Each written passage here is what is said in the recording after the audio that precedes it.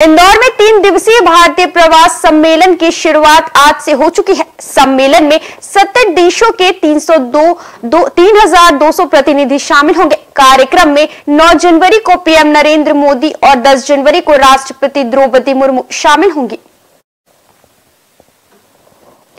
तीन दिवसीय भारतीय प्रवास सम्मेलन में केंद्रीय मंत्री Anurag Thakur brilliant convention centre पहुँचे। सीएम शिवराज और सत्तर देशों से आए प्रतिनिधि कार्यक्रम स्थल ब्रिलियंट कन्वेंशन सेंटर के पास नवनिर्मित ग्लोबल पार्क में पौधारोपण किया।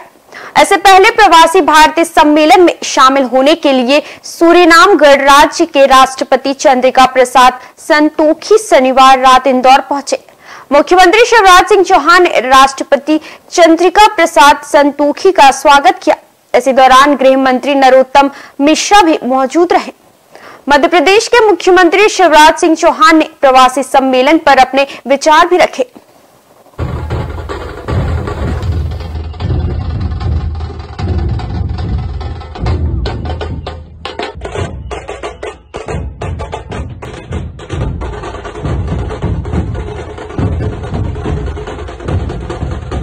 और भारत के नौजवान नवाचार कर रहे हैं। इनोवेटिव आइडिया आया।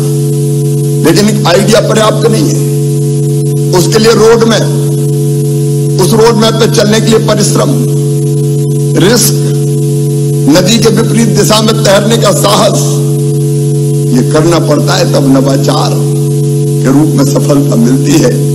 और सचमुच में जब मैं नवाचार की बात करता हूँ तो Google Microsoft Apple Adobe IBM Mastercard जैसी बहुराष्ट्रीय कंपनियों के ऑफ़िस में अगर आप देखेंगे तो केवल भारतीय ही भारतीय नज़र आएँगे।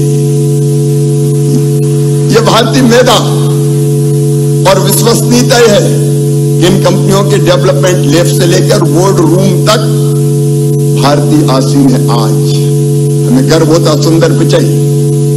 सत्य नडेला शांतनु नारायण, अरविंद कृष्णा सुश्री लीना नायक राज सुब्रमण्यम सीएम बैक्टा कृष्णन राजीव सूरी इंदिरा नूरी अजय भांगा कितने नाम कितने नाम जिन्होंने सफलता के नए इतिहास रचने का काम न्यू वीडियोस की अपडेट पाने के लिए सब्सक्राइब करें इंडियन न्यूज़ को और बेल आइकन को दबाएँ।